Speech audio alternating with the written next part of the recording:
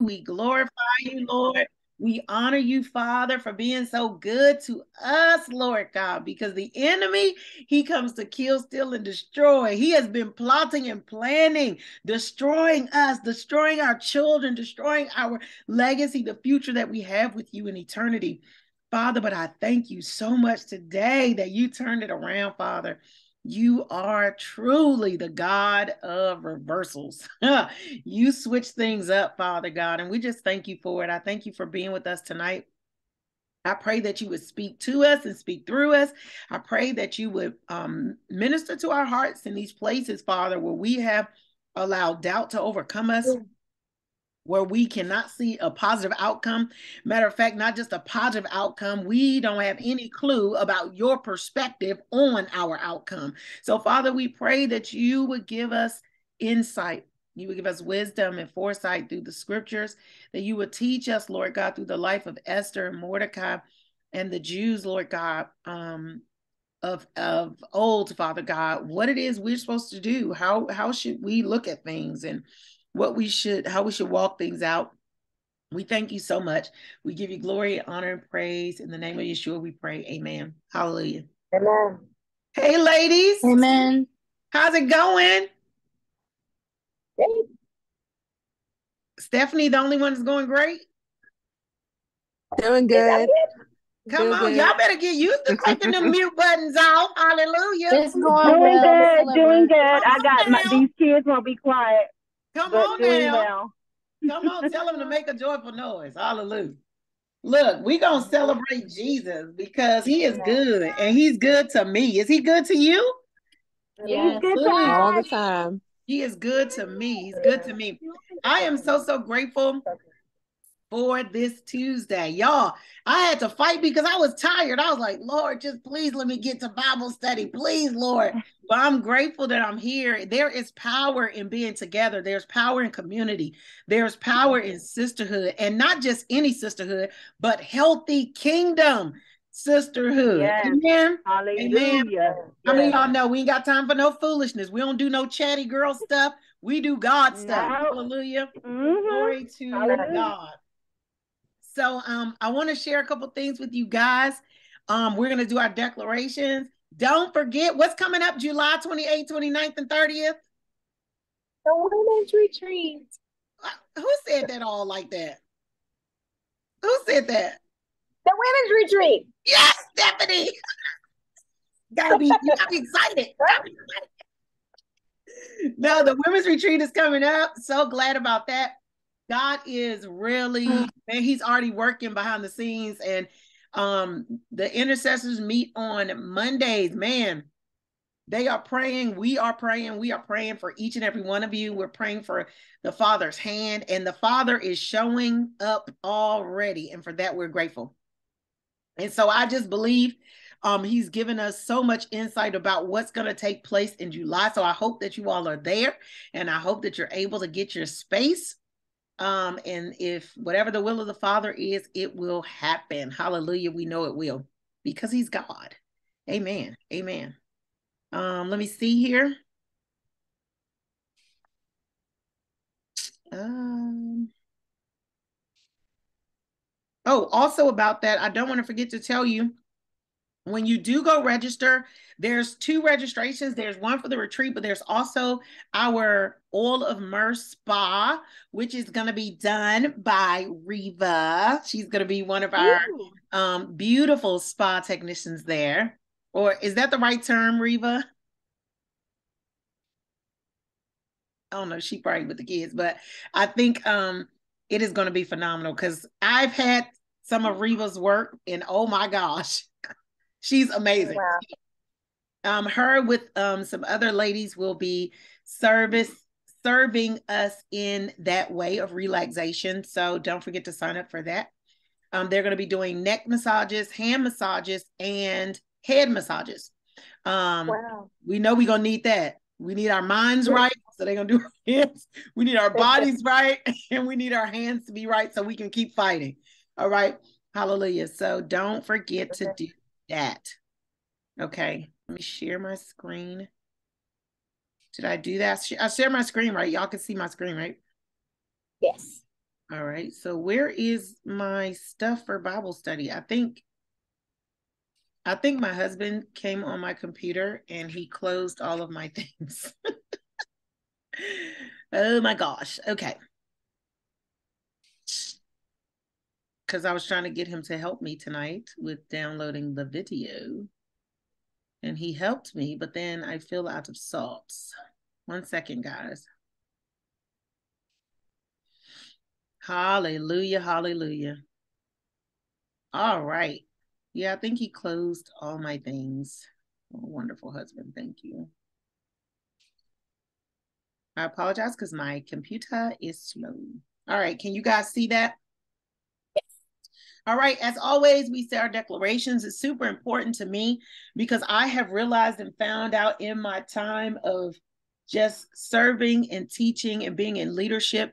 I don't care how much you tell people that God is real and he speaks to us. There are certain things that still happen in the human mind and the human heart and the enemy is a deceiver. And so we we say these declarations um, because it's important for you to declare over yourself, over your mind, over your emotions, your spirit, that I am here to gain everything that God has for me. And I want the best of what God has for me. And I refuse to let my attitude or my offense or my um, the spirit of condemnation to come upon me when I know that God loves me and everything that He's giving to me is because He loves me.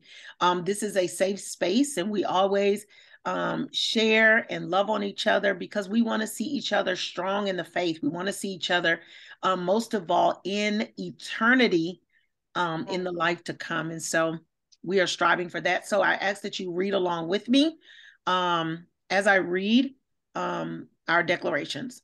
Lord, I pray that the word today would find good soil in my heart. Sorry about that. I reject the thoughts of offense. Where the light of your word exposes my sin, I do not take offense. I will change and turn to you, my heavenly Father. Amen. Don't y'all know that devil will try to get you offended with the word of God? Hallelujah. I reject condemnation. Your word says that Jesus did not come to condemn people. This word does not come to condemn me, but it comes to heal me. I reject, accusation. Satan is the accuser of brothers and sisters, and this word does not come to accuse me or abuse me. This word exposes Satan and his lies, and I choose to believe and receive the truth. God says in His word, blessed are my eyes, are my eyes and my ears, for they hear. For many prophets and righteous men desire to see what I see and did not see it, and to hear what I hear and did not hear it. Therefore, I will hide your word in my heart that I might not sin against God. Hallelujah. Open my, Open eyes, my eyes that I may see wondrous things from your word. Hallelujah. Bless his holy name. All right. Who can tell me? So we've been talking about Esther, and I'm so excited because guess what? We're almost through the book of Esther. Woo, two books down, y'all. We are doing this.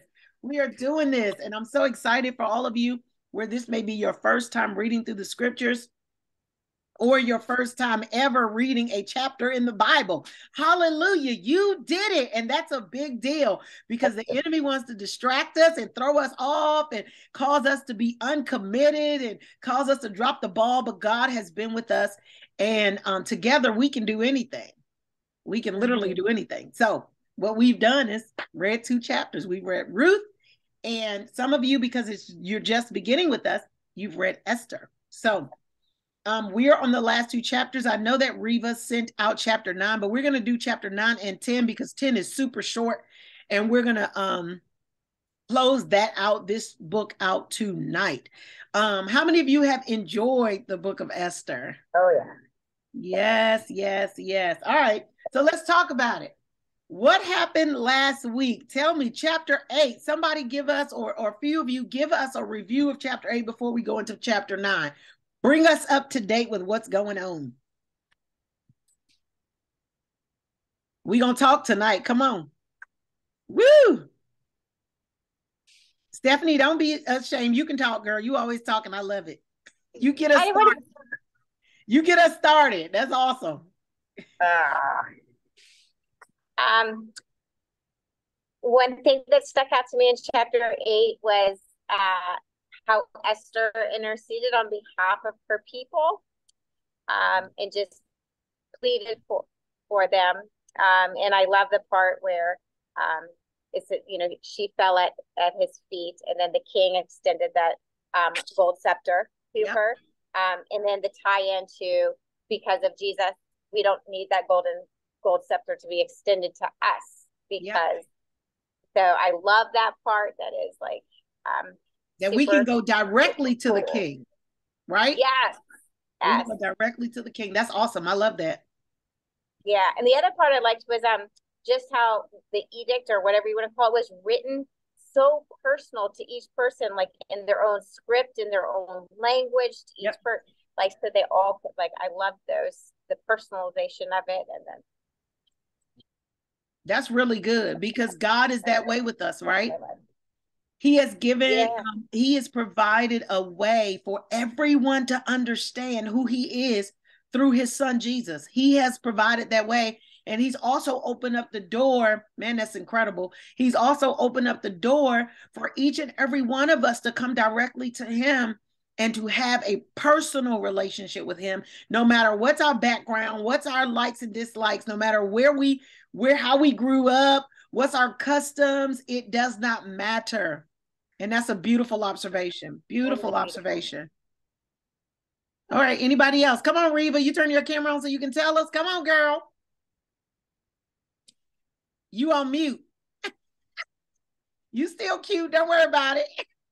No, I didn't. I didn't do that. Um, girl, I'm not gonna lie, I can't even remember. But um, based on um, just what what you've gotten from Esther thus far. We've read eight okay. chapters.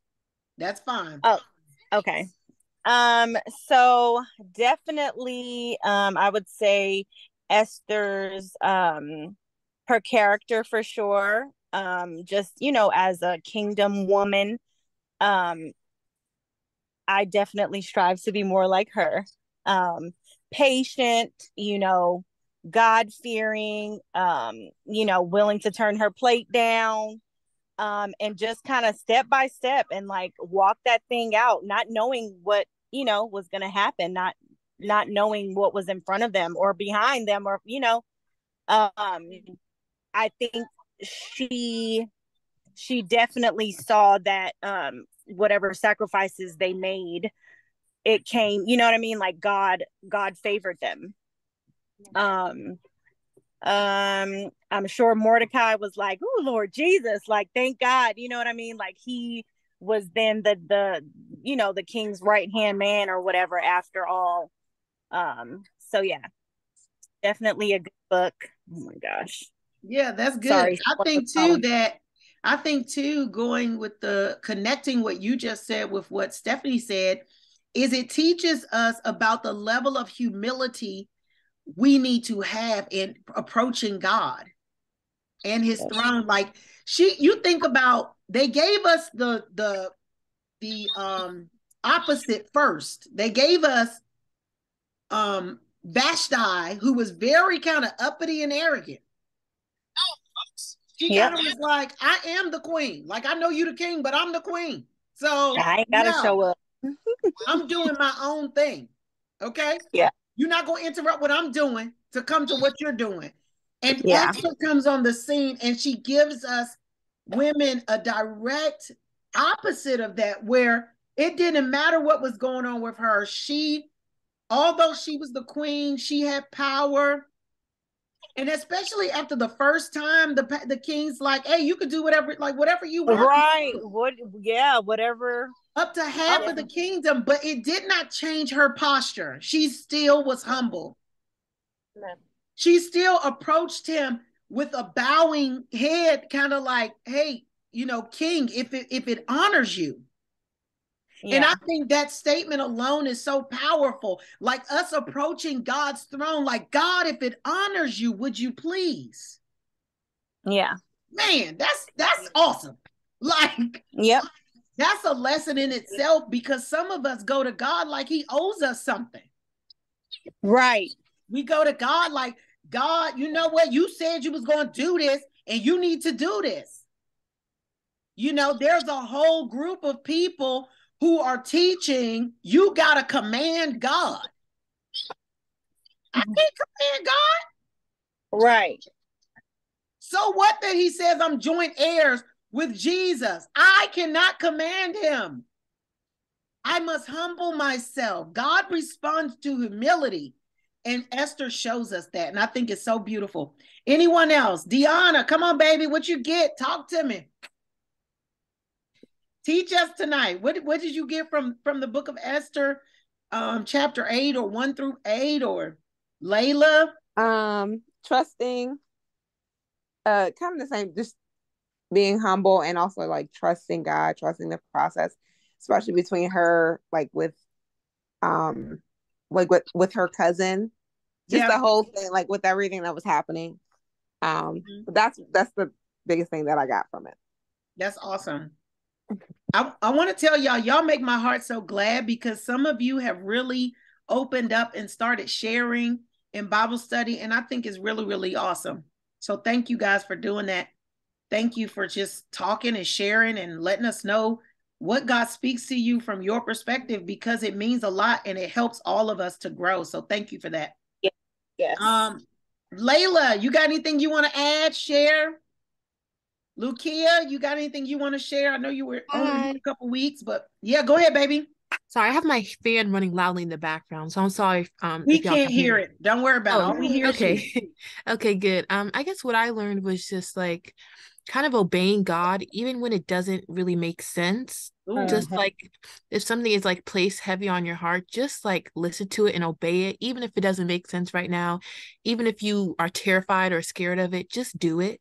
Um, um that's really what I've learned, and I'm trying to practice that currently. Girl, yeah. that's a good lesson right there. Yes. you got me excited, Layla, because I'm like, you on my street. You on my street. Okay, talk some more. Talk some more. Because it so, is scary. Go ahead. So I didn't get a chance to. I didn't know about reading Esther, so I didn't. I didn't read it. I'm currently at work right now, trying to catch up.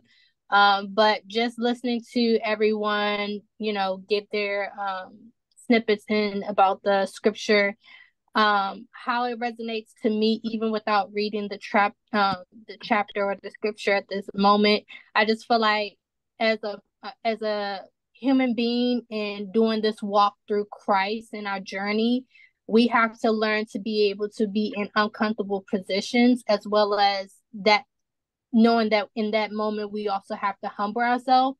So I feel like when it comes to different trials and tribulations and things that we pray for, it's all about how we manifest what we want as in prayer and worshiping as well as staying committed to our truth by you know leaning on leaning not on our own understanding but on god's understanding and and, and casting all our cares to him and just showing him that lord I don't know what tomorrow or next week is going to bring. This is my current situation. I bring this to to the altar for you to handle. I'm I'm giving you my my load and I trust you and know that in in all my ways you will order my steps and I'm trusting you with my life and I'm asking you to have your way in my life um and help me to uh, help me to um be in a position where I am, you know, listening, not to respond, that I'm humbling myself and I'm not letting the worldly things or things from, you know, work,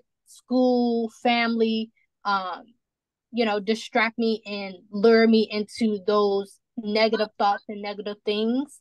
Um, and just just overall just trusting God in each and every situation and just learning how to be uh, in be okay in those uncomfortable situations. Yeah, yes. Um, Esther is all about that, like being in an uncomfortable situation, and not so much. Um, you said something that I thought it stood out to me about um really manifesting what it is that you want. Um, we can't do that. Mhm. You can want something, but if it's not God's will, it ain't happening. Right. and I'm I'm really I I'm really like that's really important to me because we are in a society and a time where everybody they're saying that like I can manifest this, I can make it happen. But what Esther teaches us is no, I go before the king because he has the answer. And as he gives us the answer and he gives us the instruction, even sometimes when it's not like like some people make it like God says this big loud voice to us or it's a dream or whatever. No, she just did what was in front of her, which is what you articulated. Like, hey, every day just do what's in front of you. And if I can trust God for that next step of what's in front of me, He will guide me to that place where I need to be. Yeah. Sometimes it's not eating the whole pie, so to speak. It's one thing at a time. God, what is it you want me to do right now today? Okay, you got me at work today, God. What is it you want me to do at work? Let me do that and let me honor you in that. Let me work as though I'm doing it for you, God. I'm doing it unto you. And it's through those actions and through those different exercises that the things that we are praying for are answered. Right. It's through being obedient in those little spaces, so to speak, that God honors us in the bigger things. And I think that's awesome. And yes, absolutely. Esther shows us that and, and she demonstrates that that demonstrates that before us. So hallelujah. Thank you guys for that. That's really awesome. Um, that's really awesome. I missed some of Bible study last week and uh Carlette Smith stood in and um did an awesome, awesome job. I caught the very end of it. Um, so that's pretty good. Good catch up. Thank you for that. So I was reading tonight. Um, y'all know I told you I have the Tony A. Evans Study Bible, which I am in love with. It's actually my husband's, but I took it. Um, we won, not two, we won, so I took it too. Um, but one of the, the little write-ups, I love at the bottom how it gives the summary of the scriptures. And he said some really awesome things. So I'm going to read a little bit of that from chapter 8 because I thought it was really important leading up to chapters 9 and 10. And then I'm going to put the scriptures up. If you guys are willing and able to read, please volunteer to read. And we will read through the scriptures and then you can share um, your insight. We'll kind of discuss it. And I'll give you some insights that the Holy Spirit showed me as I've been reading it and things that popped out um, in my spirit to challenge us and to um, encourage us in the Word of God. So, hallelujah. Um, the Lord is God of reversals. He's the God of reversals. And I've seen this in my life. Like what looked to be crazy, within seconds, God will flip that thing around. He just did that the other day for me, like just flipped it around. I was like, woo, that was fast. Um, God is the God of reversals. It's very important that we do not, when we're going through different situations, that we don't make a verdict on the situation before God says what it is. And sometimes we do that, right? We we're in the midst of something and we will declare and speak it out that there is something not favorable getting ready to happen and we haven't even given we haven't even taken it to God. We're just going on our short-sightedness and so um I want to encourage you that God is the God of reversals. Like it doesn't matter what it looks like. He has the final say. Some of you need to say that over yourself. God has the final say in my situation. Hallelujah. Following Esther's in- intervention, there came a financial reversal. Glory to God. Suddenly, everything that Haman owned belonged to the woman who had bravely called him out. I thought that was good. This highlights the truth of Proverbs 13 22. The sinner's wealth is stored up for the righteous. A lot of people quote that scripture, but this is what popped out to me about that. Esther came to a near death situation, and then the wealth was transferred. She came to a near death situation. She had to fight for her life, stand up in her discomfort, turn down her plate, and then the transfer came when she stood in faith and, and just watched God work it out. I, I think that's really important. I, I, it sticks out to me because I think we go around and we quote that, but we quote it from our advantage. The wealth of the wicked is stored up for the righteous. But it's like, well, have you put yourself in a position for that transfer to happen? And I'm not saying like you went and I don't know, whatever, did whatever, but I'm talking about looking at the example of Esther, she was obedient. She turned her plate down. She honored her elders. She just lived in such a, a awesome life um, from what we demonstrate. And I'm not trying to give the picture that she was perfect because she wasn't as we already know, she wouldn't even reveal who she really was until the appointed time. And God used that. But I'm like, there was some steps she had to go through um, before she got to the wealth of the righteous, before everything that Haman had was turned over to her and his estate was given to her. Um, I'm like, man, am I willing to wait and go through everything I got to go through for that transfer to happen? This is a question I've really been pondering lately. And I'm like, I've come too far to turn back now. I'm going to stick in this thing, God. I got to see what you said. I don't know about y'all, but I'm like, God, I got to see it. Like, I'm not about to turn away now. I'm going to stick in here. If I got to fast, I'm going to fast and I'm going to do it with delight. If I got to serve, I'm going to serve and I'm going to do it excitedly. I am going to honor you, God, with my whole life. And I'm not honoring you so that I can get things. I'm honoring you because you're my dad and I love you. And I understand that your promises are true. And if I honor you, God, you've already told me what the insurance plan is that everything that my enemy has tried to do to me, you're going to transfer what he has stored up and it will be mine. Hallelujah. Woo! That's some good news, y'all. That's some good news. All right. So it says, um, then there was a political reversal. So first there was a financial reversal, then there was a political reversal. As the authority that Haman once held was granted to his rival. Look, don't mess with God's people. Don't mess with God. Haman literally lost everything everything. No matter how powerful the people and circumstances aligned against you may seem, listen, they have nothing unless God grants it to them. Woo! I don't care. It don't matter who's threatening you. It doesn't matter what they have against you. They have nothing unless God gives it to them. That's a different level of comfort and rest in God. And if he grants it to them, he can take it away in an instant. Do y'all believe that? Yes. The enemies that have come up against you, how many of y'all have like you've had situations where you knew it was the enemy against you and he was threatening you to do harm to you and you were shook. Mm-hmm. Yeah. I'm talking about totally shook, crying, calling folk, praying because I gave all that power to the human. But God says, I got all power in my hand. I do.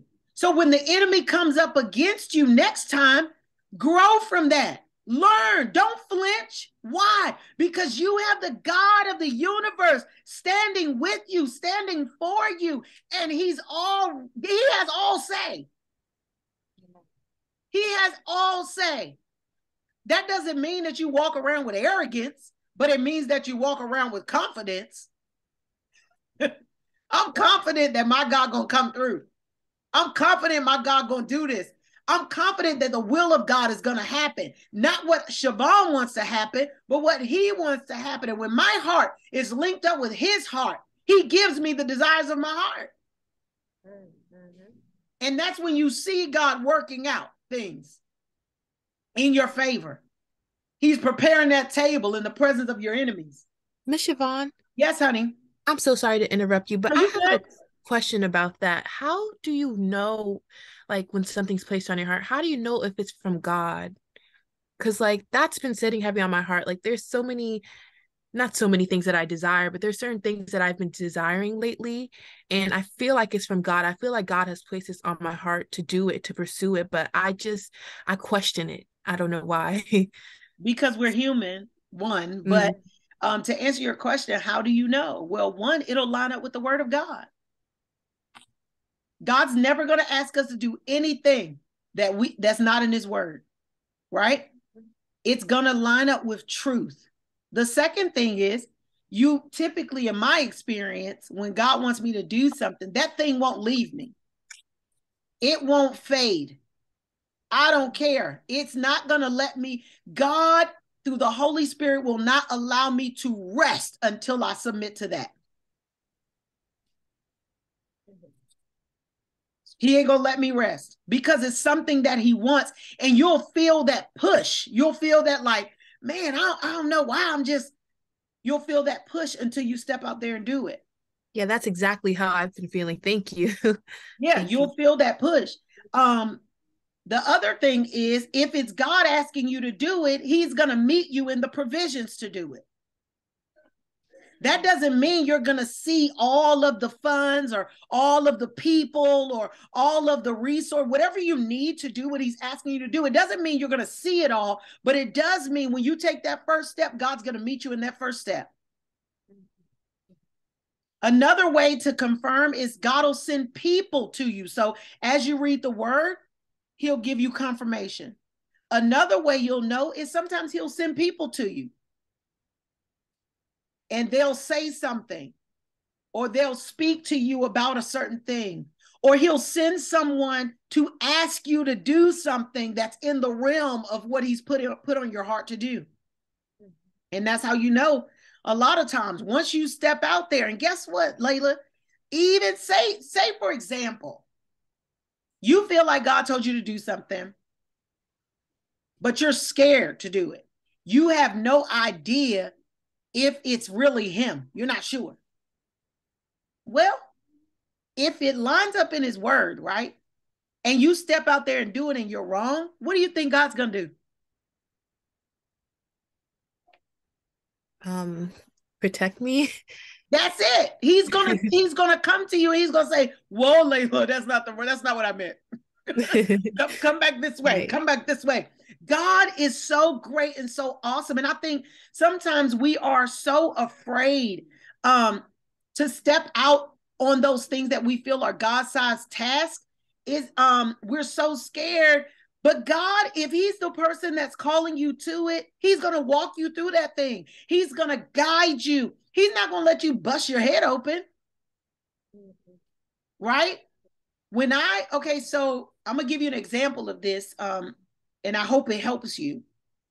Um, probably, I'm going to go as far as to say five years ago, God gave me the title Fit to Be Loved Conference. And I was laying in my bed. I think I was getting ready to go to sleep. And it came to my mind you're going to do a conference called Fit to Be Loved. I was like, mm.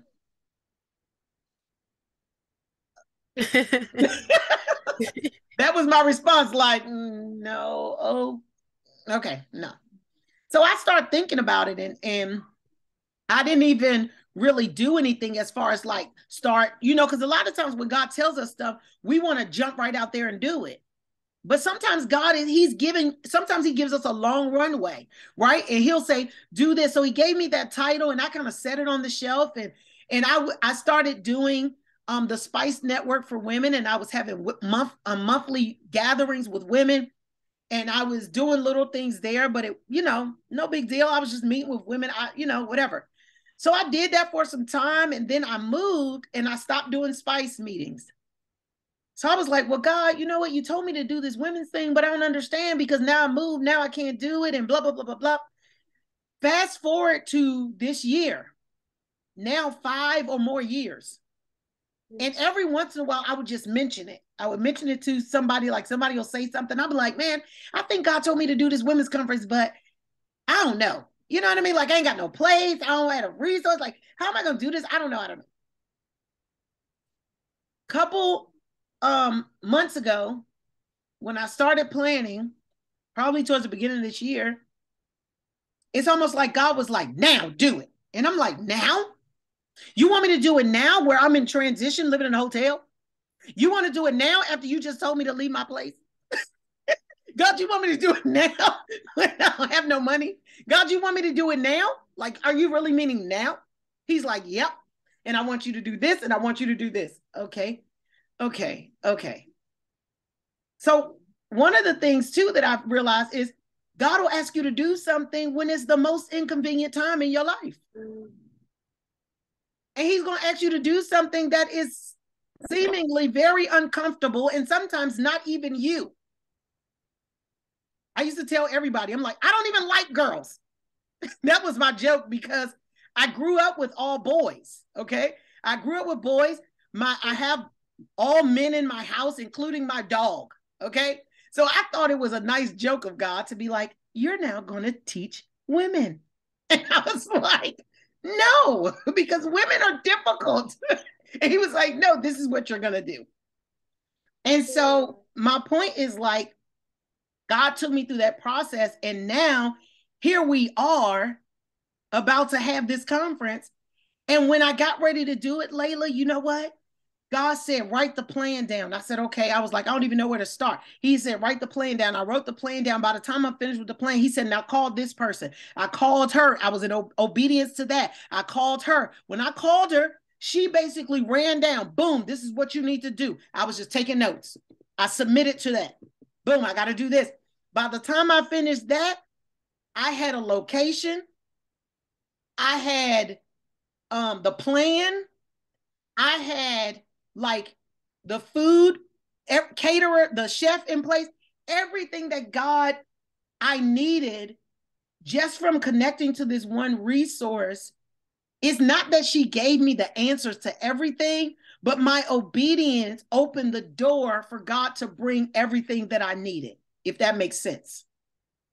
So I'm like, if you feel like God's telling you to do something, honey, step out there. Like you said, even if it's uncomfortable, Trust God in every step and just do what's in front of you. You don't even have to do anything sometimes out of sorts. Just do what's in front of you. And as you're doing that, God will bring the pieces together.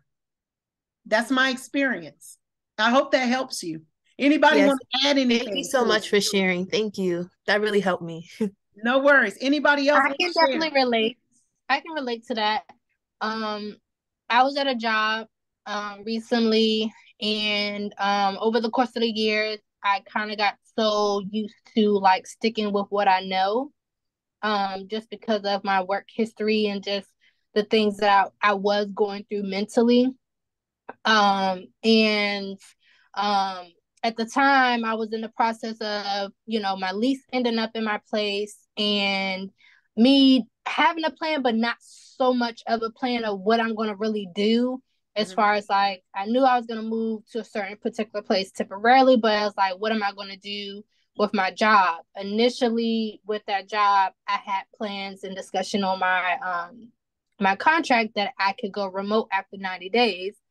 That fell through. Um, and then everything else started like, you know, going downhill, and then the enemy just started being busy. And in the midst of that, um, my friend had um, obtained a management position.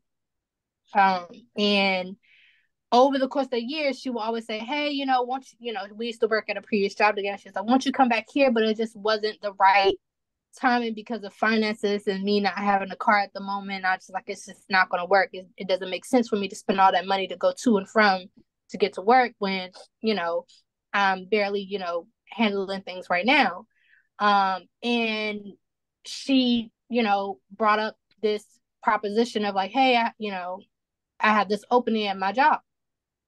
It's you know completely out of what you've been doing um, I mean, you do have, you know, skills of scheduling things of that nature, but this is like a different type of scheduling. And I sat there on the phone, like, oh my gosh, God, like, I don't know what to do. Like, I don't want to turn up this good offer. And without me even asking too much of anything, she just started like throwing stuff at my plate. The job comes with this, the job comes with that. You know, you could do this, da da da. And God put on my spirit in that moment to say, do it take that leap of faith. And I was able to just like in mid sentence of her telling me everything, I said, you know what? I'm going to take you up on that and I'm going to take that leap of faith and try something different outside me. I've always wanted to do a little something different. So I'm going to take that leap of faith. And I was just like, God, I'm trusting you to equip me with whatever I need to be equipped with so that I can successfully, um, you know, accomplish, you know, things at my job and learn, you know, some other new skill settings and things of that nature. And since starting, it's been an uh, quite of an enjoyment um, ride, but also frustrating at, at the same time because I have a lot of things coming my way. And then, you know, with me transitioning out of my apartment to where I'm staying at temporarily, it's just been overloads of stress and, you know, a lot of things coming my way. And you know that's one of the reasons why i'm still here tonight. And you know my friend who is my manager she's like you know you have to give yourself grace. You have to be mindful that you know you have to be okay with being in a com- uncomfortable situation while taking that leap of faith and knowing that god is going to provide everything you need going forward Mm-hmm. Everything that you need, he's going to provide it without a doubt. You just have to be consistent on your part and just keep that faith and stand on that. And any obstacles and things that come your way, you have to you have to attack it with the the the, the greater armor of God.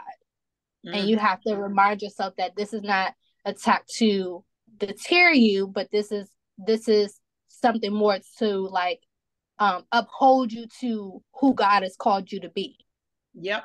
So you're going to climb up that ladder and deal with those uncomfortable things and people saying this and this is a third, but you have to learn how to fight it with the good fight of faith. Yep. Yeah. Yeah, that's good. All right, y'all. Let's let's um let me see. So uh Okay, so the the just to finish reviewing that, um, Justice Haman had been given the authority to write orders to the king's name and seal them with the royal signet ring. So now Esther and Mordecai were authorized to do the same. So basically, everything was transferred to Esther and Mordecai, and God really gave them the victory in um, their their walk over their enemies. All right. Um, we come up to chapter nine, and I'm going to put nine and 10 up here, and we'll read through it. Um,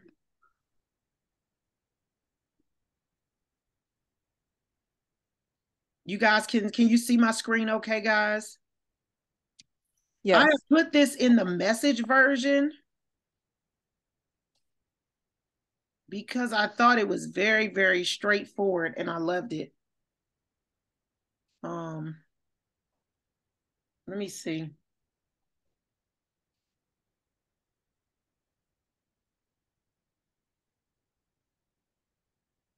I like the message version. Sometimes the message Bible, though, makes it so plain till it sometimes takes things a little bit out of context. So just keep that in mind uh, when you're reading the message version. Um, but for tonight, I'll I'll read.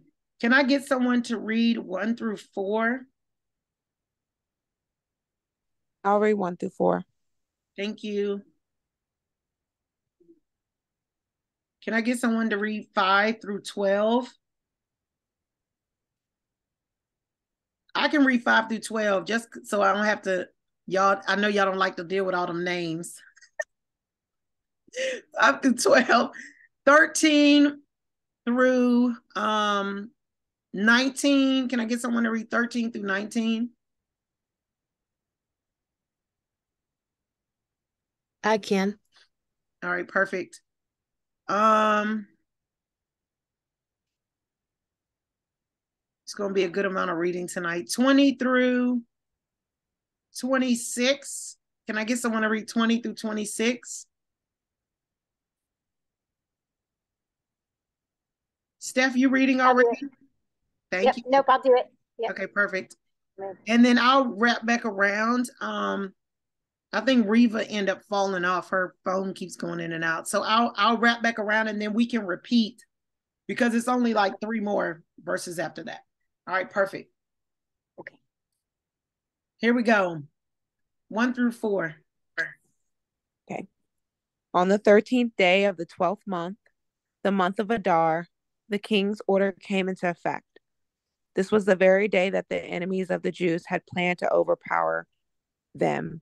But the tables were now turned. The Jews overpowered those who hated them.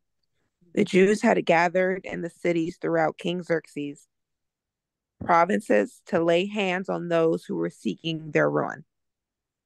Not one man was able to stand up against them. Fear made cowards of all of them all. What's more, all the government officials, satraps, governors, everyone who worked for the king, my glasses, actually helped the Jews because of Mordecai. They were afraid of him. Mordecai by now was a power in the palace. As Mordecai became more and more powerful, his reputation had grown in all the provinces. Tell us what you're hearing there, Deanna. I, um, the G- the Jews are fighting back. Like the Jews are are um, just standing up. Yeah, because the that's what I when when when the king allowed Haman to write it down, that edict, it cannot be reversed. Remember that, right? Yeah. So so what Esther end up doing is requesting from the king, can we write another edict? So they end up mm-hmm. writing, it couldn't be modified. They had to write something else. And a part of her request was, can we fight back? Yeah. Can we defend ourselves? and let the Jews defend themselves. And so the king said yes. So the the king the Jews come in. They were almost ready and prepared, armed. Woo, that's good. Yeah. It's not that they their enemy was what the king did not just wipe out the enemies for them. But he brought it to their awareness. Mm-hmm. They knew what was getting ready to happen. And he allowed them to be equipped to fight the enemy. Are you ladies equipped? Or are you just sitting back waiting for somebody, something else to happen? No, we got to be equipped. The enemy is real. This really is that parallel of our spiritual life. The fasting has happened. The praying has happened. The enemy, our, our enemy or initiator of our detriment has been dealt with, but he put something in place that had a trickle effect in our lives. How are you preparing to fight that? Woo! That's good. Like, come on, y'all. This is what we're doing. This is a part of preparation is knowing the word of God, knowing who you are in God's kingdom, knowing what God has put in place for you, knowing that the king will back you and stand up for you. That was the beauty and all of this is unfolding in my mind. Thank you, Steph. It is the it's is like man, you just triggered like almost dominoes in my mind. Like, yo, this is this is what the king does when we go and we humble ourselves before him. He says, What is it that you want? I will give it unto you, even up to half of my kingdom. The king is fighting for us. Yahweh is fighting for us.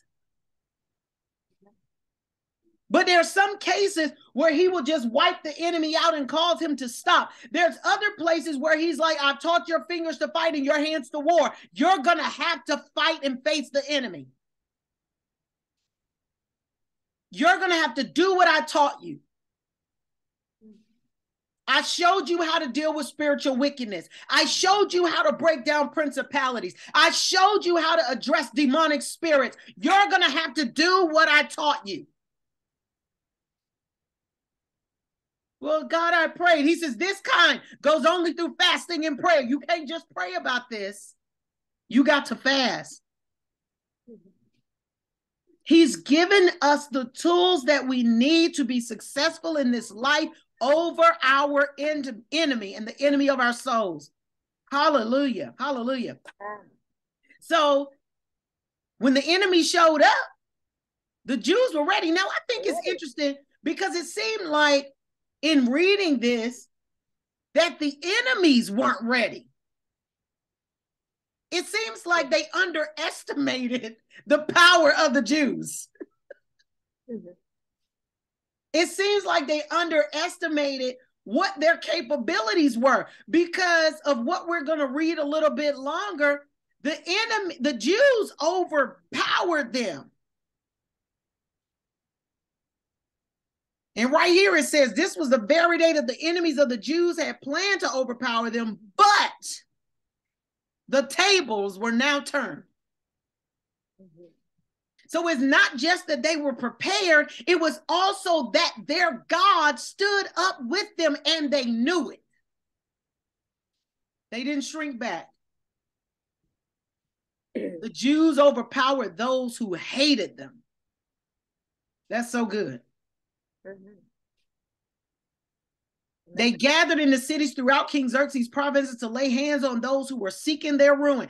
They didn't just stay in one place, they was all over the place, kicking people's behind parts. They was like, look, we taking y'all out. they was taking them out. Yeah. And the um, not huh? About and the um at the end too, like with all the government officials yeah. with mordecai everybody i guess like put I, guess like just he became powerful like mordecai was I, I don't want to say in charge but like he was in know, charge. yeah. He was second in command. He was second in command. Not one man was able to stand up against them. They were so afraid that they cowered it to them then because everyone else was was was um, on edge, they ended up helping Mordecai. The same people that were against him end up helping them. The Bible says that, that God will make our enemies our footstool. That's what he means by that. They will help you. Your enemy will help you. And they helped him because they were so scared of him. Now, did Mordecai ever oppose, I mean, you know, like present a threat in any of the chapters before? No. So you just got to think like, what were you afraid of? God put fear in them.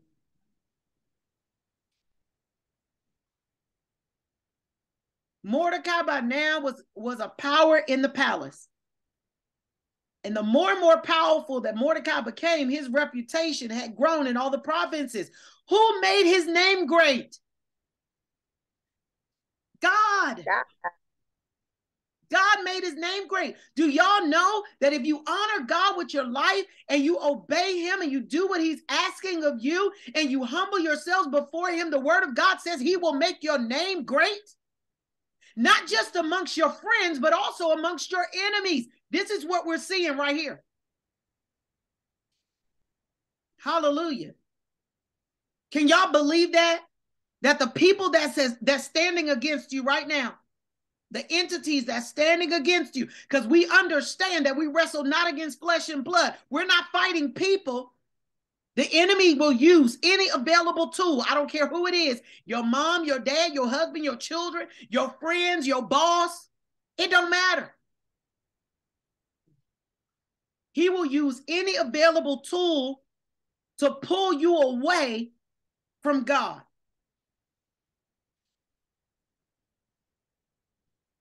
You got to be sharp. You got to be ready. But if you can stick in there, honor God. I don't care what's going on. Honor God in the steps and in the processes. Follow his lead and you mess up, repent, move on, keep going in God and watch what God does. Before you know it, your enemy coming going, Can I help you? Did you need something? And you're looking at him like, No, I don't need nothing from you. No, no, yes, thank you so much. Thank you for your help. I appreciate you. Because I know the only way you're helping me is my God has touched you. Because I already know you don't like me. Jesus gives us this example, and I'm right in the scripture. He gives us the same example through how he interacted with Judas. He knew Judas, he knew what Judas was there for.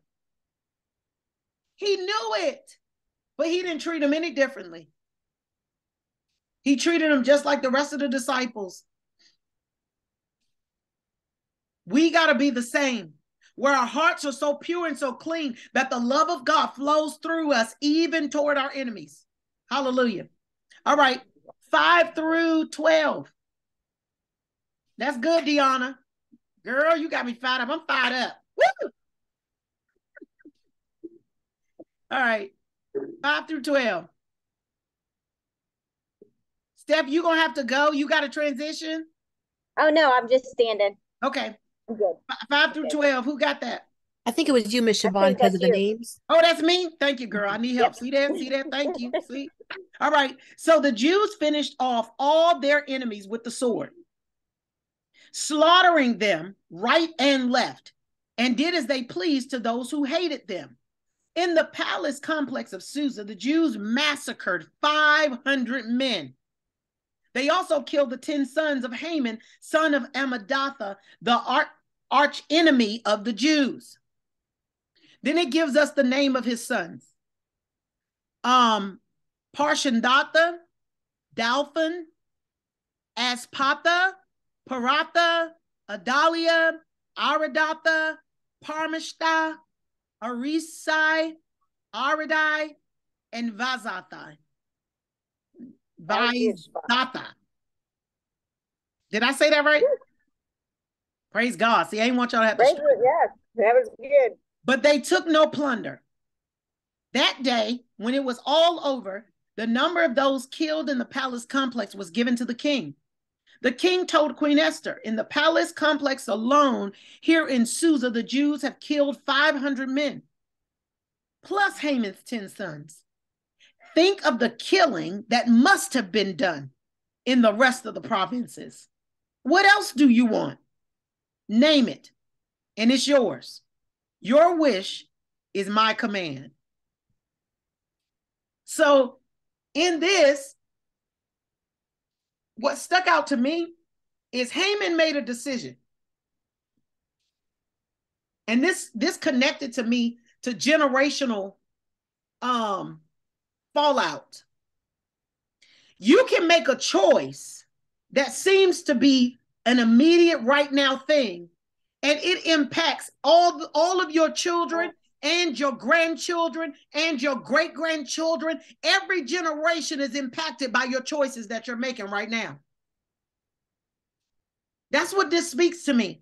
Haman made a decision to stand against the jews to stand against mordecai to not not just that to listen to his wife and his friends and put up this gallows in the back of his house to kill Mordecai. Now he was already hung on the gallows in which he, he built, right? They killed him. The king com- put a put a command for him to be killed on the on the gallows. Now the Jews are like, kill all of his sons. Why do you think they killed all of his sons? Because they don't want to follow in the footsteps of their his their daddy. They didn't want them to, because look, a lot of times I find in the scripture when God would send um the, the Jews in to fight someone, he would say, kill everyone in some places. Because the generations that would follow would pick up pick up the vengeance and try to come back after them to kill them. So they were like, uh-uh, we're gonna wipe them all out. We're not dealing with this no more. This enemy, we're not gonna see him no more. So they ended up killing him. Another practice that was put in place when you would have war is that the the the army that would win and overcome the other side, they would then take their plunder. Do y'all understand what that means? Take all their belongings. Take all of their possessions. But it was it was really something because the scripture kept saying, but they took none of their plunder. Yeah. They were not doing this for selfish gain. They were not doing this for their own ele- elevation and advancement. They killed the men and they were out of there. Mm-hmm. And they could have, but they didn't take anything. And that's what it talks about when they say they, but they took no plunder. They didn't take anything from them. They didn't take anything from them. They just wanted to um, really God was doing a kingdom transfer and giving them, thank you, Lord God, the authority that he had already given to them. I said he had he was giving them the transfer of the authority that he had already given to them. God has already said that we are joint heirs with his son. He's already given us dominion on this earth. He's already given us a level of authority reigning in this earth. And then as we walk through the process of our lives, we get to a place where we're able to, he gives us enough strength to defeat, and he gives us the authority to defeat our enemies, and we begin to walk in that power and that authority. But that happens once we understand who we are in God. We see that demonstrated here. God gave them position, He gave them an advocate through Queen Esther, He gave them a leader through Mordecai. And they were able to go before and petition the king. And the king stood up for them and backed them. And even after they had killed 500 men um, in the complex of Susa, he's still saying, What else do you want? Name it and it's yours. All right. Any questions or add-ins on, on um 5 through 12? Any other insights you guys see? I've, I've just a question? Yep. Are you you're referring to um God's promise to Abraham, right? To make him a seed of, you know, that Jesus would come through the line of the Jews. So when you when you say he's God's already promised them, right? So yeah, he's you're, already you're, you're, the Abrahamic covenant. That's what you're making reference to, right well, there. For us, it's it's period. He he promised them a savior. He promised them that he would be with them. He promised Abraham's seed that he was going to take care of that seed and he was going to put it out there. Man, God gave the Jews so many promises, just as he's done for us. Right. He told us if we suffer with him, we would reign with him. That's a promise. Mm-hmm. Mm-hmm.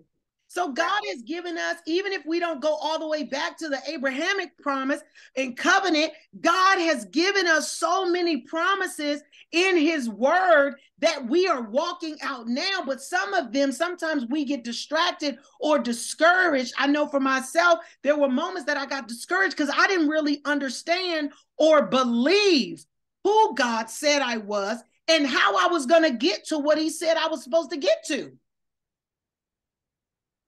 Many of us are walking in defeat and we're allowing our enemies to torture us and torment us. And we've embraced and accepted that we cannot move away from this enemy because we don't want, we, we have not yet accepted who God has already said that we were.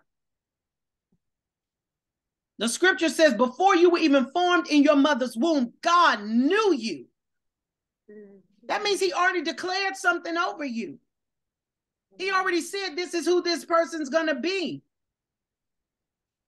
He already knew, he knows everything about our lives.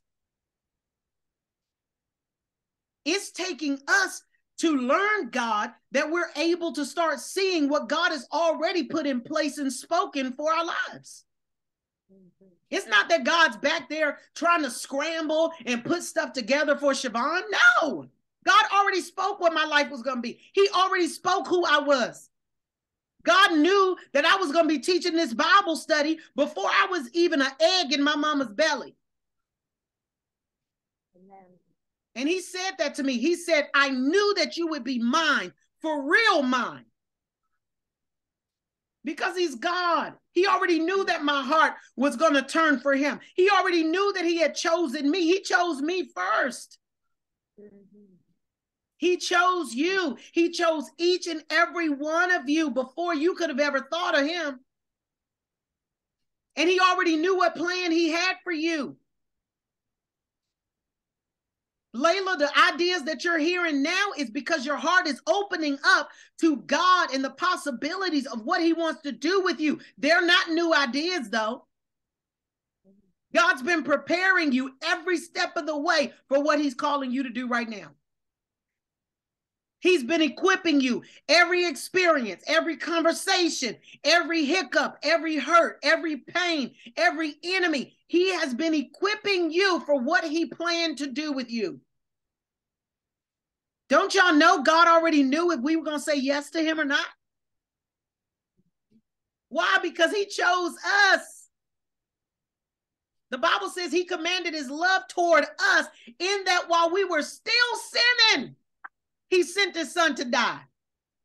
He didn't wait for you to get it right. It's a lie from the devil. The um when people say, "Man, man, man," you say, "Well, man, why don't you follow God?" Well, man, man, man, I, I just got, I just got, I just got to get it right. Well, if you could get, could have gotten it right, then what did Jesus die for? We can't get it right without Him. Amen. Hallelujah. I hope I answered your question. Glory Amen. to God. Yes, you did. All right, 13. Who got us 13 through what? 19? Um, I do. All right. 13 through 19. All right. Um, all right. Uh if it pleases the king, Queen Esther responded, give the Jews of Susa permission to extend the terms of the order another day, and have the bodies of Haman's ten sons hanged in public display on the gallows. The king commanded it. The order was extended. The bodies of Haman's ten sons were publicly hanged. The Jews in Susa went at it again. On the 14th day of Adar, they killed another 300 men in Susa, but again they took no plunder. Meanwhile, in the rest of the king's provinces, the Jews had organized and defended themselves, freeing themselves from oppression. On the 13th day of the month of Adar, they killed 75,000 of those who hated them, but did not take any plunder. The next day, the 14th, they took it easy and celebrated with much food and laughter.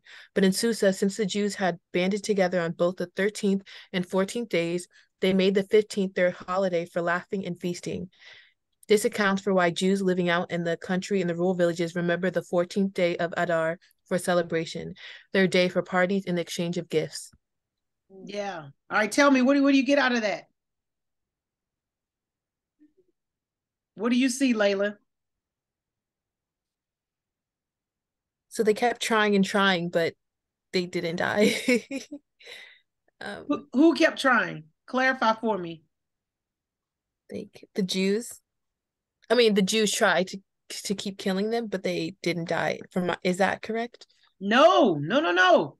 The Jews mm. killed 500 men first in Susa, right? Yes. Then the Jews kept going because Esther said, Give us one more day to, mm. to, hmm. to extend the terms of the order. What was the order? That they could defend themselves. Oh, okay. So the king said, Hey, it's granted to you. And she gave a second request. She said, Now that the now, now this is what I thought was interesting. She said, Now that I know the sons of, of Haman are dead, But she said, now have the bodies of Haman's 10 sons hanged in public display on the gallows. Remember, up up here, they they told us they also killed the 10 sons of Haman. They were already dead. Right. But then she said, King, put them on public display on the gallows. Why do you think they wanted to do that? The men were already dead.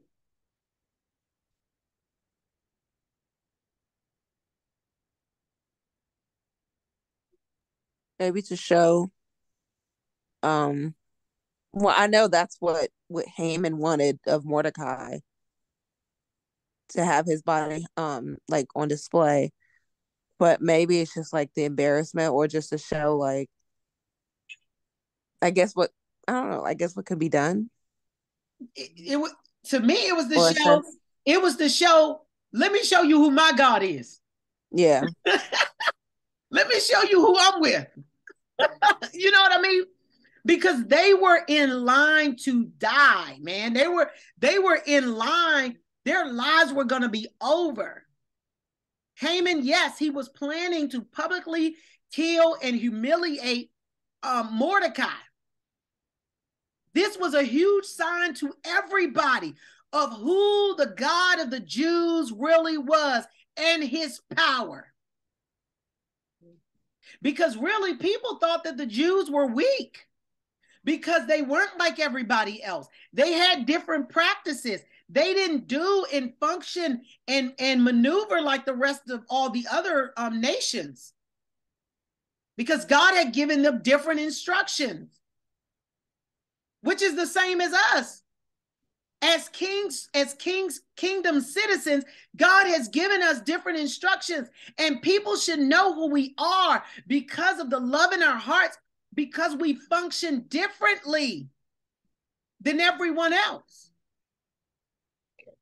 But because of the love in our hearts, sometimes people will miscalculate and think that you're weak. And so to me, Esther's like, let me show you, my God is strong. This is not even about me.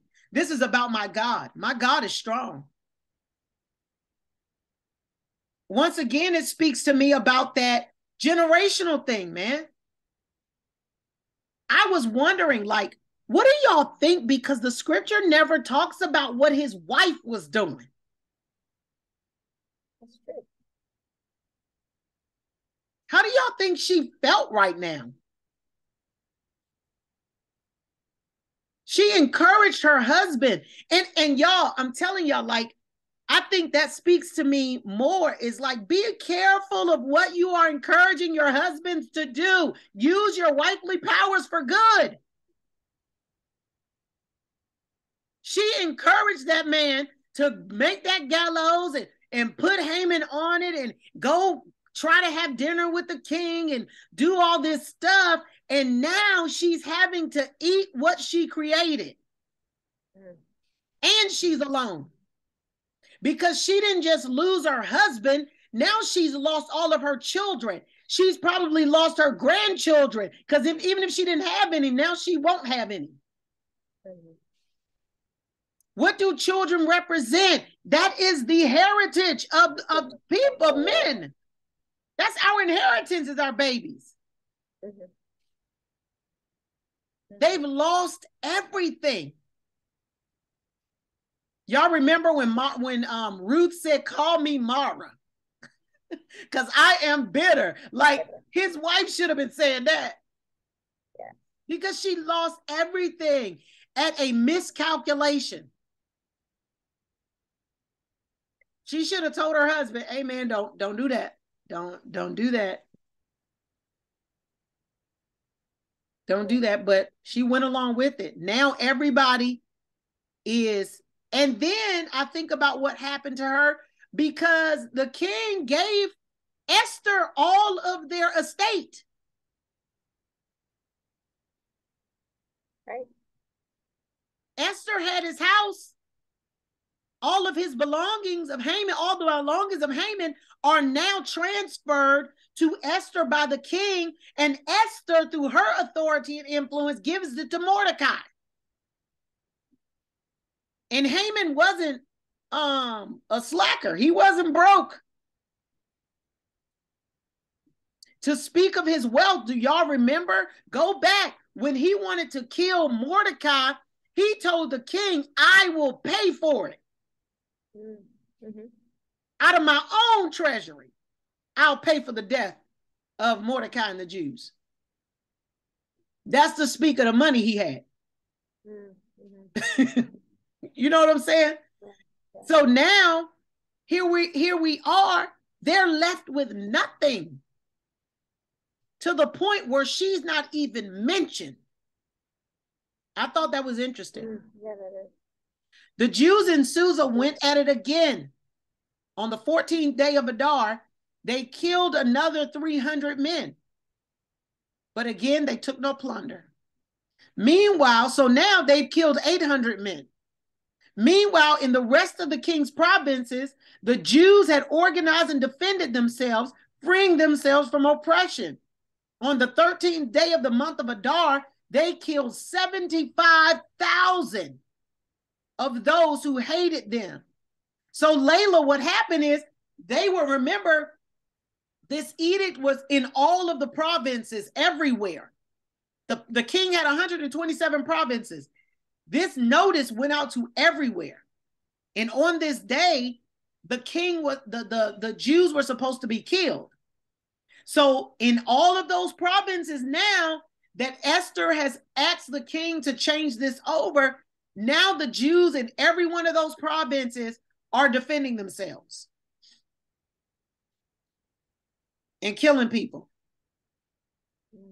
Adar is around the month of February or March. This happened on the Jewish calendar.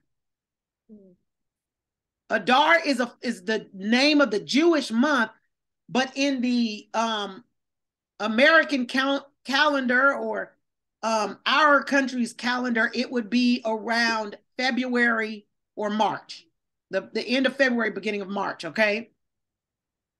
So this time just passed where the Jews were celebrating this. Okay. Um, the next day, the 14th, they took it easy and celebrated with much food and laughter. But in Susa, since the Jews had banded together on both the 13th and 14th days, they made the 15th day, the 15th, their holiday for laughing and feasting. This accounts for why Jews living out in the country in the rural villages remember the 14th day of Adar for celebration, their day of for parties and the exchange of gifts. It's called Purim. They celebrate the celebration, I think is called Purim. All right. And it's where they um yeah, the pur, the pur or of Purim. And it's where um they celebrate pur means lot.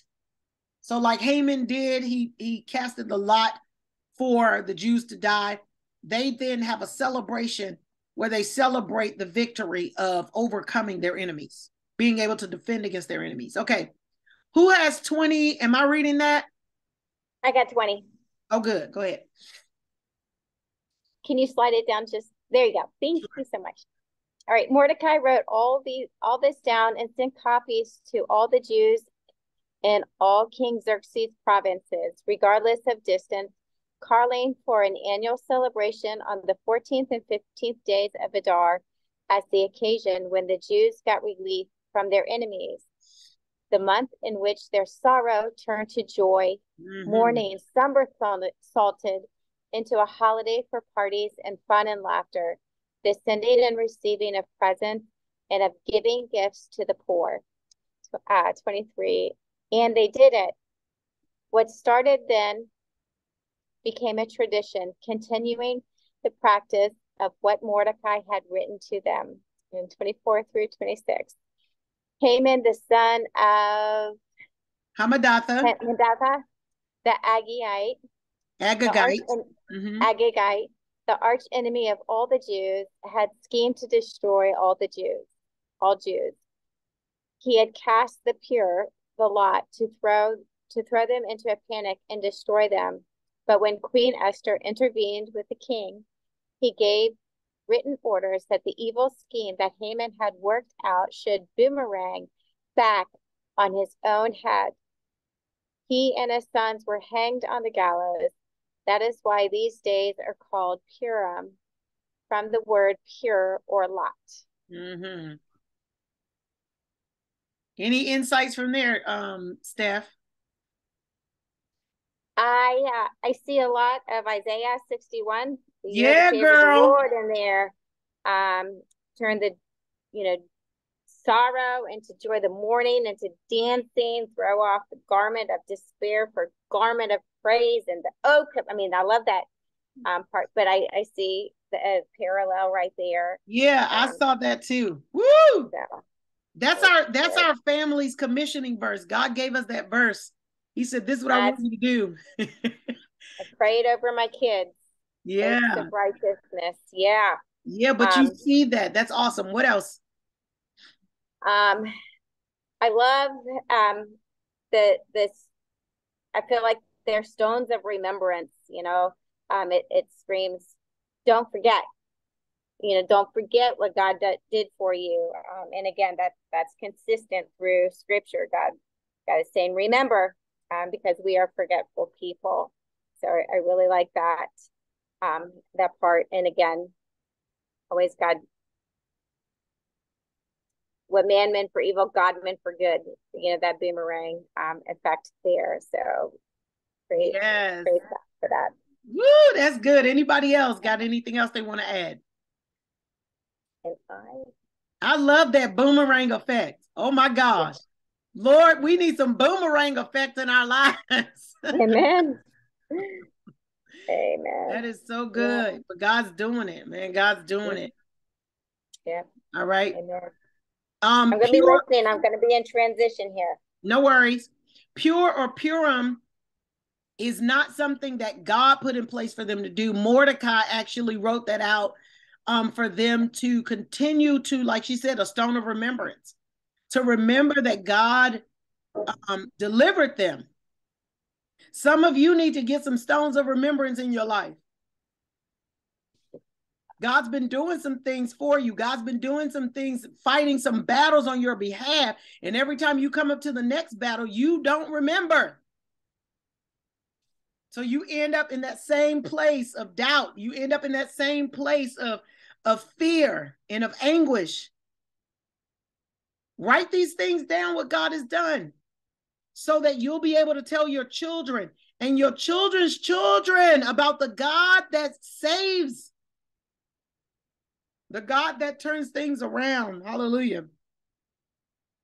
Um, 26, I'm going to read. Therefore, because of every is this mine or was was um Lucia? you were you supposed to read or no? I'm sorry. No, I'm still at work. Okay, no worries. I got it. I got it. I just want to make sure I didn't skip you, baby. I'm sorry. All right. It's Therefore, okay. because of everything written in this letter and because of all that they had been through, the Jews agreed to continue. It became a tradition for them, their children, and all future converts to remember these two days every year on the specified dates set down in the letter. These days are to be remembered and kept by every single generation, every last family, every province and city. These days of Purim must never be neglected among the Jews. The memory of them must never die out amongst their descendants. Queen, um, that, that's really, really good, is what I was just saying. There are some things that you all need to pass down to your children. You need to sit down and talk to them and tell them how God helped, how God vindicated you, how God saved you, how God turned situations around on your behalf so they'll know. They will know, and it'll be in memory. Queen Esther, the daughter of Abihail, backed Mordecai, the Jew using her full queenly authority in this second Purim letter to endorse and ratify what he wrote. Calming and reassuring letters went out to all the Jews throughout the 127 provinces of Xerxes' kingdom to fix these days of Purim, their assigned place on the calendar. Dates set by Mordecai the Jew, what they had agreed to for themselves and their descendants regarding their fasting and mourning. Esther's word confirmed the tradition of Purim and was written in the book. That's something to have somebody back you up, huh? My God, today, Lord, thank you for the backup plan coming. Thank you for sending people in authority to back us up and to fight with us. Hallelujah. I'm going to go ahead and read 10 because it's only three verses. King Xerxes imposed taxes from one end of his empire to the other. For the rest of it, King Xerxes' extensive accomplishments, along with a detailed account of the brilliance of Mordecai, whom the king had promoted. That's all written in the Chronicles of the Kings of Media and Persia. Mordecai the Jew ranked second in command to King Xerxes. He was popular among the Jews and greatly respected by them. He worked hard for the good of his people. He cared for the peace and prosperity of his race. Man, wouldn't you want that to be a good ending for your story? Like, man, I stood the test of times and God promoted me.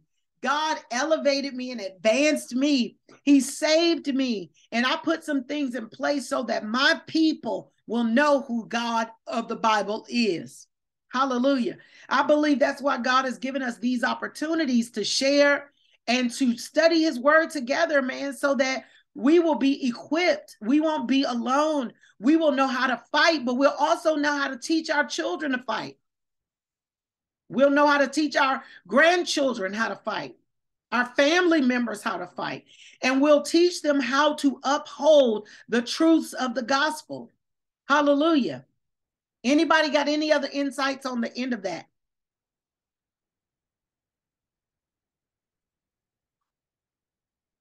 Glory to God. Man, this was such a powerful, powerful lesson in teaching. I got so much out of this. Um, I got so much out of this. Just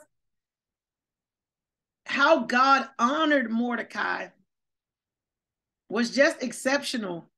Um, and I, I believe that we serve the same God, that He'll do the same for us if we would just stand the test of times and obey Him, man. The scripture says, I have not, I have not seen, ear have not heard, neither has it entered into the heart of men what God has prepared for his people that love him. And I think that God wants to do something super special in each and every one of your lives and in my life. I do. Deanna, God got something special for you, girl.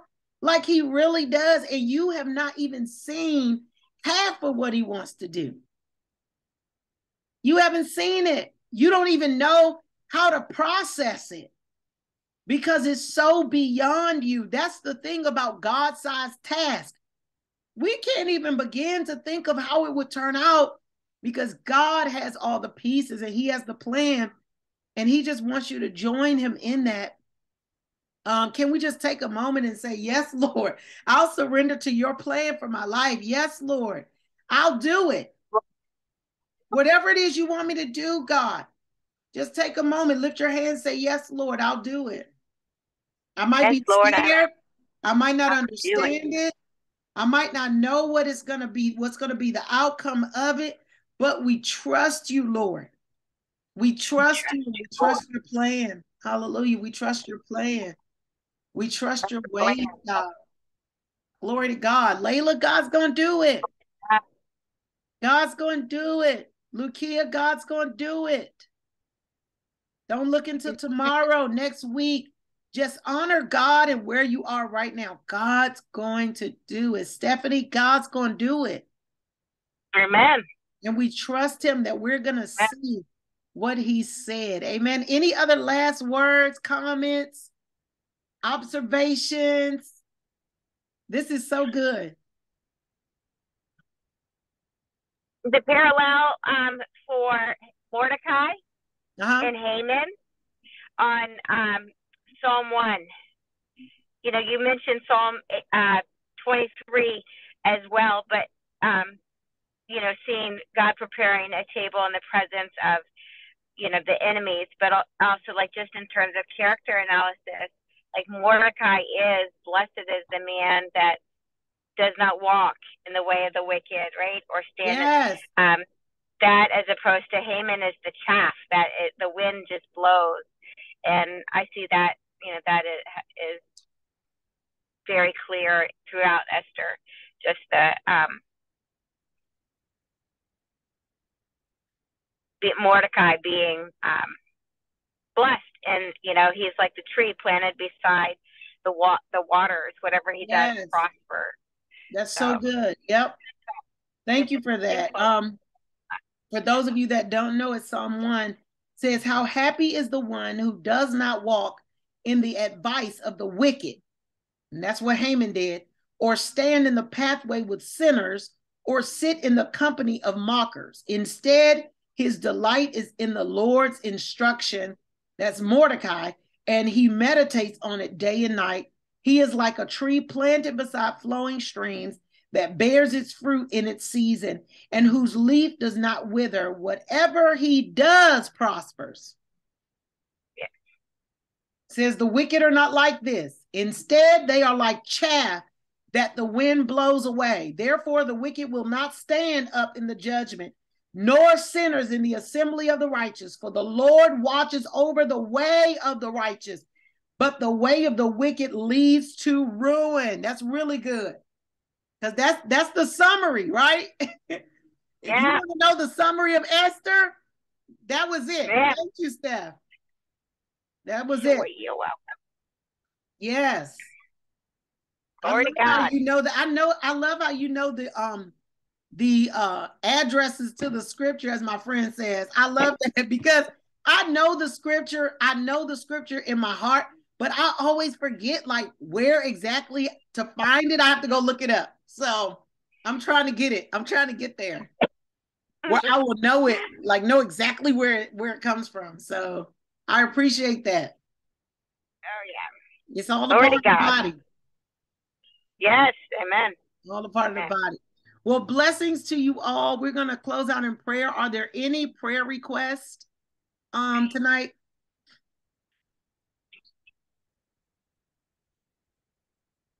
Of course, I'm going to ask that we continue to play, pray for those that'll be traveling here in July. Pray for um, India Ellis. She's a part of our group. I ask that you keep her in your prayers. Um, pray for, um, just pray for each other because there's so much going on in the lives of one another. So please, please, please don't take it for granted that everybody on here is okay. Don't take it for granted that things aren't going on. There are things that are going on beyond paying bills. There's things, real things going on, right? So please keep each other in prayer.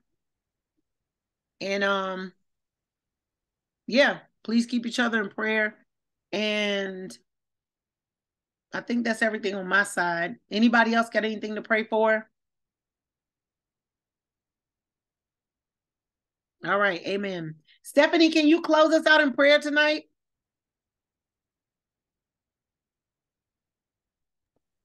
I can. I'm gonna. I'm gonna. I have it left. I'm gonna pull over in the parking lot and I'll pray. I'd love to. Uh, are you sure? Let's see. I want to. I can. Yes, because I can close us out. I'm just gonna pull into a parking spot right now. I would love to pray for us. Oh, I appreciate you and your willingness. All awesome, right, awesome, awesome. We we are we're set. So let's let's pray. Uh, dear Jesus, God, we just love you so much, Lord, and uh, wow, we know that you love us because you sent your Son Jesus to die for us, God. Mm-hmm. So we just we love you, we praise you, bless your holy name, Father. We praise you. God, your word says, let everything that has breath praise the Lord. So, God, we praise you because you gave us breath in our lungs today, God. Um, we are so grateful, God. This is the day that you made, and we will rejoice and be glad in it, God. Thank you so much uh, for our sisters, God, that so much for your word, God, that you gave us. Father, thank you for how you lead us and you teach us and you guide us and you give us everything that we need to live this life out for you, God. God, and thank you so much uh, for Siobhan, God. Thank you that uh, for her boldness to step out and to to teach us from your word, God, faithfully, week after week after week, God. Um, God, just bless that faithfulness, Father. Bless her family, God. Thank you for giving her wisdom. Thank you for giving her words, God. Um, just bless that sacrifice of time, God. And I lift up all of us, God, who are here, who are listening, God. Um, all of our sisters, God. We just lay those burdens at your feet, God. Thank you that we can cast our cares to you, Jesus, because you care for us, Father. God, uh, you you you are right there, Jesus, at the throne of your Father on just crying out to him on our behalf, God, and thank you so much that we can boldly approach your throne, God. And just we pray, we lift up our, our sister India to you, Father God. You see her, you hold hold her tears in your hands, God. You love her, God. I just pray that you are, I know, God, I thank you that you are with her right now, that you are comforting her, that you are beside her, God. Let her know how much you love her. And I thank you so much for Thank you, Jesus. that. And um, thank you just for, for the lessons, Father, that you taught us through Esther. Yes. God, help us to live this, this life out of humility, Father, of loving our enemies, loving the people who are, are just so different from us and who may rub us the wrong way, God, you say no. You know, be gentle, be Yes. humble, God, um, like you, Father. Uh, help us to live this out, God. Um, help us to be like the tree planted by streams of water, God. Let our roots go deep in you, Jesus. Lord. Um, Lord, and uh, just sing again. Thank you for a Bible study, God. Thank you for this time. And we lift all of these these cares up to you. You know what they are, Jesus, and we praise you for what you're going to do, God. We are just so excited um, to see you work, to see you move, God. And I just pray you bring each person who is listening right now to the women's conference in July, God, that we may not just be together in Zoom, God, but we will be together physically, God, and we can worship you together as one, God, that we can learn together from you, Father, um, and that we will just rejoice together. Bring us all, Jesus. Bring us all to the conference in Yes, July. Lord. Make it happen, of Father. Jesus. We so look forward. You can do immeasurably more than we can ever ask, dream, or imagine. And I believe we will see the goodness of the Lord in the Yes, land of the living, Father. For your glory, Jesus. We love you, Father. We lift your name on high. Jesus. Glory to your name, Jesus. Glory to your name, Lord. Hallelujah. Pray all of this in your holy name. Amen. Amen. Amen. Hallelujah. Amen. Amen. You guys have a wonderful, wonderful week. Remember the teachings of Esther. Remember the teachings of Ruth. Don't let the enemy pluck it out of your heart. I pray that the soul of your Amen. heart is ready and prepared, and that God will begin to grow beautiful flowers in the gardens of your heart. Man, we're going to keep going, y'all. We're going to pray. Pray that God leads us into the next thing we're supposed to study and in the next Yes. steps of what he wants to teach us. And um, yeah, we're gonna do it same time, same place next week. I love y'all. All right. Love you, Siobhan. Love you guys. Love y'all. Bye. Thank you. Bye.